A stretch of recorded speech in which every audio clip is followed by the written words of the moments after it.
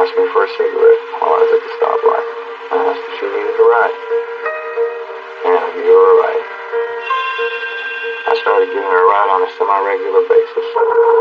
She and I became more than friends. She and I became involved just in the sense of kissing, and that's not right. It's sick in the fucking head because I understand she was not of age. He starts off by providing his credentials as kind of Joe's citizen, you know, with a wife and kids. And then says, on the other hand, I'm cultivating a relationship with a minor. The notion that uh, they became friends or more than friends is kind of ludicrous. Shore is engaging and they're building a sense of security and trust with their victims so that they can go on to victimize them. One day she saw me and asked me for a ride. I wanted to get more involved than just the kissing and stuff. I undid her bra. Everything got out of hand. She freaked out. Said, no, this ain't fun anymore. She threatened to tell on me, you know, that I was a sick fuck. And I had a life and I just couldn't see it all thrown away. I panicked and I didn't know what to do. What happened? We got into a fight. I tried to knock her out. I took this cotton cord and I tried to make sure that she would never ever tell anybody. And I strangled her. And the cotton cord broke more than once. I fucked up my fingers. My fingers fucked up. This description about his injured finger is really a very blunt and obvious example of how narcissistic Anthony Shore is. This is not a surprising trait to see in individuals who are psychopathic. He suggests that he did it because he panicked.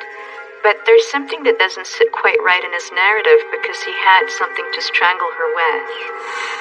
And so I don't buy it. I think he was fantasizing about killing this poor young woman, and that part of his thrill is befriending the women. So I drove her behind the Memphis and I pushed her out of the car. Nobody ever came talk to me. Nobody ever came and rescued me. I tried to appear normal the best I could for months. Promised myself nothing like this would ever, ever, ever, ever happen again. He recognizes that he could be accused of rape and kidnapping. Want to have this nice guy image blown. The fact that they never came looking for him was probably a more powerful reinforcer for it to happen again. Because, gee, if you can get away with this kind of thing, maybe you give it another shot. I had crazy, crazy thoughts. I don't know if you call them demons. People talk about voices in your head. It's almost like my own voice, like it's a demon. And I'd see some girl walking and I'd invite her. And then I'd have fantasy trips. One girl that I picked up once was a prostitute. I didn't pay for anything. She showed me some stuff.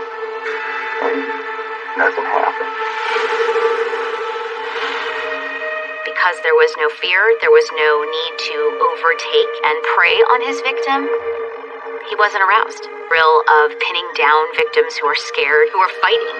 And the more they fight, the more he both becomes sexually charged and aroused, but the more angry he becomes also.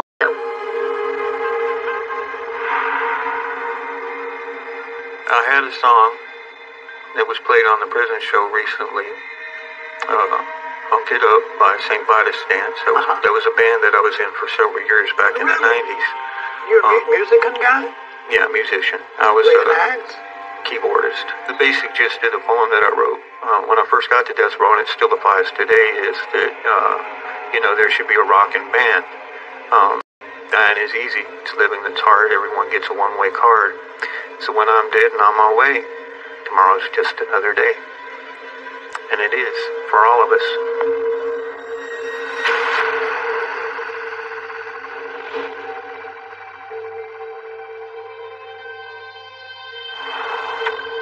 One morning, going to work, and I ran across this really beautiful young lady. She told me her her name was Carmen, and she uh-huh. didn't take rides from strangers, and she didn't speak in English.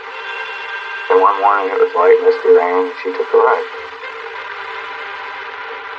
There were other occasions I gave her a ride. And uh, I became friends with her best I could. Tried to bone up on my Spanish, started to flirt with her and stuff, and lied that I was single and trying to make a relationship happen. I was once again outside my marriage with this person. Anthony Shore has distorted his sense of self. His private um, narrative of himself is that he is a man who struggled with fidelity issues, when in fact, the reality is he's a pedophile, he's a psychopath, and he's kidnapping and beating and raping these women and goes on to then kill them. His detachment from reality is disturbing. So, from that perspective, think Anthony Shore very much believed this narrative that he was selling. This public persona that he put on, I think at some point became fused with his own sense of reality and his own sense of understanding what was actually happening. And I think it probably allowed him to get up every single day and go about his day. I find it interesting that he would try to learn some Spanish so that he might be able to communicate with her a little bit better. That seems, for some reason, kind of absurd and manipulative. So, with the manipulativeness, the expectations, the unrealistic expectations, and the willingness to violate not only societal norms but laws. So, why does he target young Latina girls? He very intentionally is targeting someone who's vulnerable, and we all know that if you don't speak good English, you're much more vulnerable, you're much, much less likely to seek help. Psychopaths go after vulnerable people because they don't want to be caught. One morning we pulled in behind a Dairy Queen both uh, amenable to a kiss. And when I pushed her further, it got out of hand and she freaked out. She even said, Hey, man, not this way. I love you, not this way, not here. Was. And then I had this big consumption that I wanted to possess her.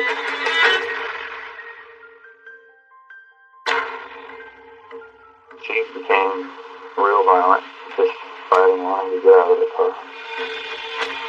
I got real paranoid because now this wasn't a consensual thing.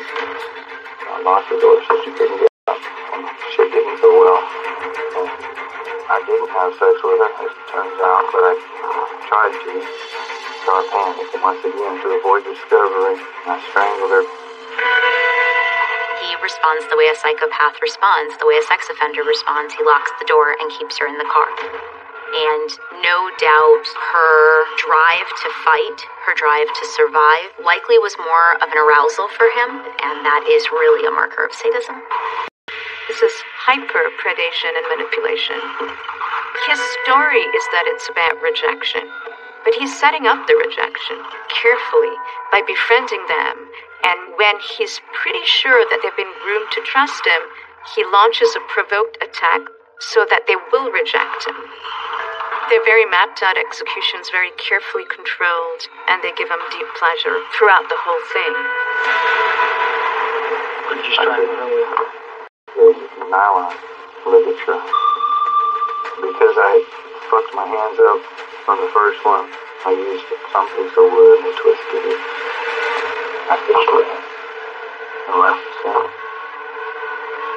I was sick. I was scared to death. I was paranoid for days. Anthony Shore was known as the tourniquet killer. And he had the instruments he needed to make this more sophisticated ligature. Shore's choice to strangle the victim with a tourniquet allowed him to prolong the victim's death to ensure that she he wanted it to be. It makes him a very sophisticated, dangerous psychopath. Probably the hardest thing in life is to forgive oneself. Forgiving others is pretty hard, believe me, I know. But to forgive yourself is a hard road to hoe, and I finally have come to the point reached that peace in myself. Well, aren't you lucky? You've forgiven yourself for killing innocent girls because they didn't want to have sex with you?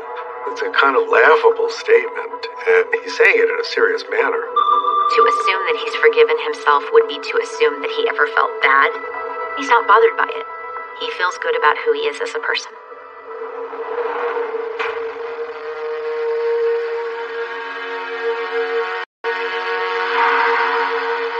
I wanted to prove to myself that I didn't have to take a life. There was a girl that I had fantasies about. Girl's name was several times I've seen her coming home. I knew that she was a latchkey kid. So I had broken into the house and I waited for her to get there. And she got there. So I wore a t-shirt and a hood and sunglasses so I couldn't be recognized. I told her it was a burglary and tied her up with electrical cord and raped her. I started to strangle her and I thought, no, I can't. I just need to get the fuck out of here. Because I had promised myself I wasn't going to do this. So I bolted. You see, escalation, what could be more invasive than entering her own home and then violently raping her while she's tied up? He's taking more risks, and typically, this kind of killer, when they take more risks, it's because it gives them more thrill. He is a sexual psychopath.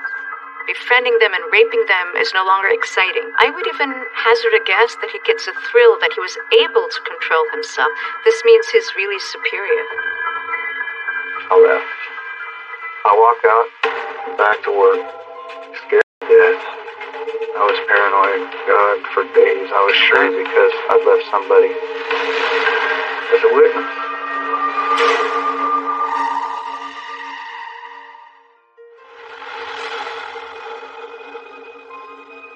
Even though we live back here on death row or behind these walls, there's still a quality of life to be had that is beautiful. I'm not saying there isn't a lot of chaos and despair, but I'm saying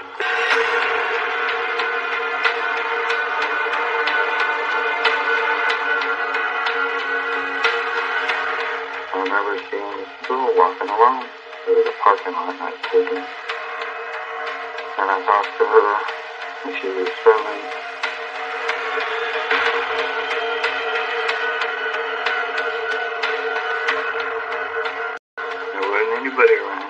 Know what the hell went through my mind exactly. I just in the room. Nobody saw shit. I remember using duct tape to bind her hands and feet. And I told her to be quiet. I tried to have sex with her, but it wouldn't happen. Strangely, she fought more impulsive, but he's also getting more bold in the crimes that he's committing because now he's just snatching children off the street. He's not even trying to engage in grooming behavior. And he's also given into the idea that he's going to kill the victims. He's gotten comfortable killing. His sexual perversion runs deeper than is suggested by the, the previous victims. This is really, you know, a preteen, a latency age kid. So it really reflects depravity. I knew I couldn't just let her go because obviously she's going to go tell. I did the ligature. I just thought, God, you sick fuck, what the hell is wrong with you? know this. I would love to get a stay. I would. That would be awesome. But at the same time, I'm ready for what happens next. It's kind of like when you get to the front of the line at the roller coaster ride. I'm excited to find out what happens. Of us don't have the uh, privilege of knowing when it's going to happen, so it, they don't prepare. I've had time to prepare and think about this.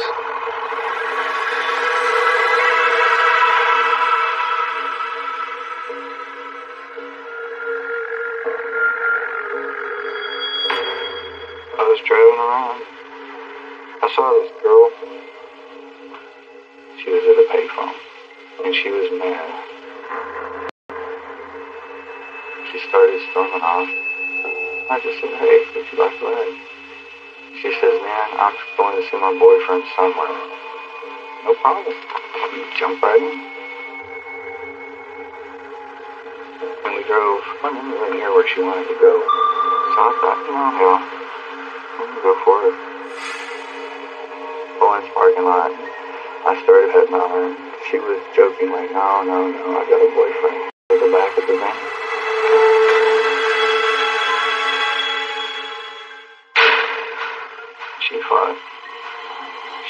Hard, big blood. There wasn't gonna be any sex with her, so I restrained her, tied her hands, I taped her face, got completely undressed her. And I couldn't get around. I remember that I just was so sick in my brain. I couldn't stop. And I used a twisted nylon rope. This is a killer who likes watching his very young victims give up, lose hope, suffer, and watches the light fade from their eyes. He's a very, very cruel man. His impulsivity was starting to spiral out of control. I think he was worried that he was losing control of himself. I drove and drove and drove and drove.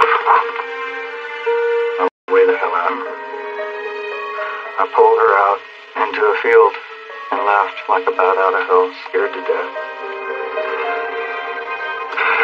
Dana was discovered naked and dead, having vanished eight days earlier. She was my friend. She was something very, very special. And, uh, and she's gone.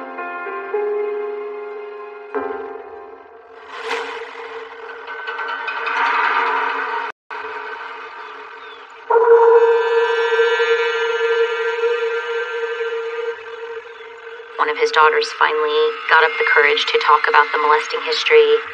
He would feed his daughters hot chocolate and was drugging them. Shore never really had an attachment for his children that wasn't self focused, drugging them to assure that it went undetected all these years, that he could continue to molest them and they would never fight back.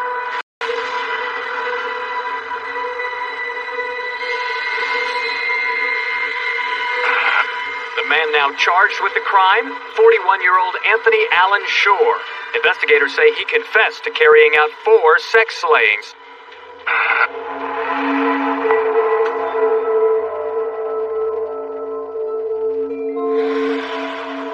Anthony Allen Shore, for the first time, walked into the courtroom that's likely to be the scene of his capital murder trial.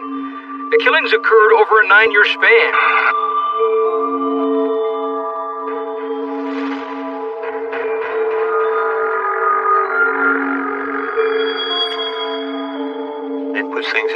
Perspective when you're facing your impending demise. I don't want anyone to cry on my behalf. If anything, throw a party. Guys, everybody's got a distance.